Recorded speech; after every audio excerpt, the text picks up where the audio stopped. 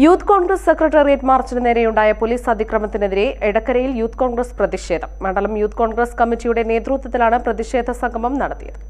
Indira Gandhi bus terminal പരിസരത്ത് നടന്ന പരിപാടി മണ്ഡലം കോൺഗ്രസ് പ്രസിഡന്റ് കെ രാധാകൃഷ്ണൻ ഉദ്ഘാടനം ചെയ്തു. യൂത്ത് കോൺഗ്രസ് മണ്ഡലം പ്രസിഡന്റ് സുലൈമാൻ കാട്ടിപ്പടി അധ്യക്ഷത വഹിച്ചു.